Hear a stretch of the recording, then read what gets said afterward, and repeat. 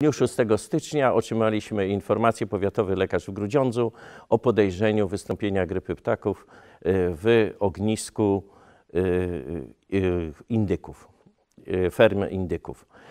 Podjął natychmiast działania, czyli udał się na fermę, dokonał sekcji padłych ptaków, pobrał próbki, wysłał próbki do Puław. Wynik otrzymaliśmy w dniu wczorajszym, czyli w czwartek.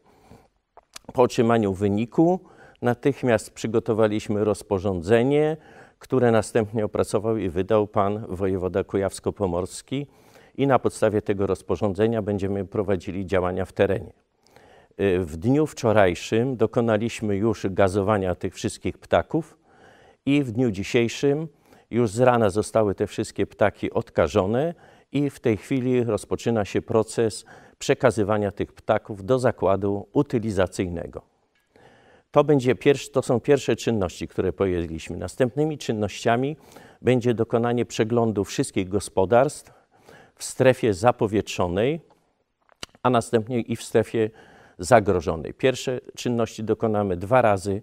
Wszystkie gospodarstwa w strefie zapowietrzonej, to jest strefa w opromieniu 3 km i będziemy przy okazji przekazywać wszystkim rolnikom informacje o tym, jak zabezpieczyć gospodarstwo, co oczywiście szczegółowo jest op- opisane w rozporządzeniu pana wojewody.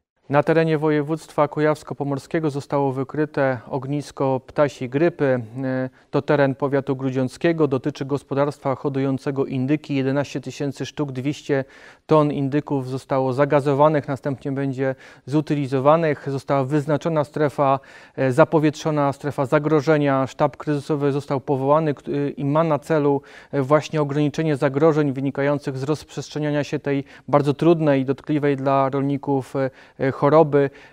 Dotyczy to tylko tego jednego gospodarstwa. W strefie zapowietrzonej nie ma innych e, ferm, e, których mogą być zagrożone. Jednak podejmujemy działania, e, aby zminimalizować zagrożenie rozprzestrzeniania się tej choroby.